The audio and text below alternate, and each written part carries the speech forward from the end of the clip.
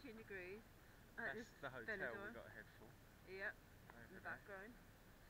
Hotel Miranda Central. Beachfront, Benidorm.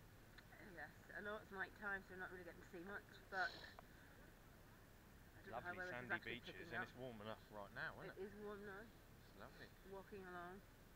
See what the said. Don't know why she's still pick up at night time though. This needs to be in the daytime.